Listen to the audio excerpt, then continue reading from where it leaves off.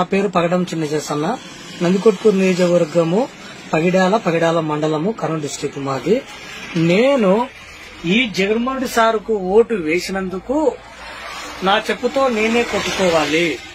నా చెప్పుతో నేనే కొట్టుకోవాలి. ఎందుకంటే ఇరవై ఏడు దళిత పథకాలు రద్దు చేసినాడే ఈయన. దళితులకు ఇంతకు ముందు బాగా చదివే వాళ్ళకు ఇతర దేశాలకు వెళ్ళి చదువుకునే అవకాశం ఉండేది. ఇప్పుడు అది కూడా రద్దు చేశాడు. ఈయన జగన్మోహన్ పరిపాలన ఎలా ఉందంటే ఈయన మళ్ళీసారిగానే గెలిచినాడంటే రౌడీల కింద పోలీసులు పని చేయాలి. రౌడీ షీటర్ల కింద మర్డర్ చేసిన వాళ్ళ కిందట జిల్లా కలెక్టర్లు పని చేయాలి. ఒక జిల్లా కలెక్టర్ పక్కన ఒక కూలి కోరి ఒక మర్డర్ చేసేవాడు ఒక రౌడీ షీటర్ గాడు రాజకీయంగా వెతికి జిల్లా కలెక్టర్ పక్కన కూర్చుంటున్నాడు.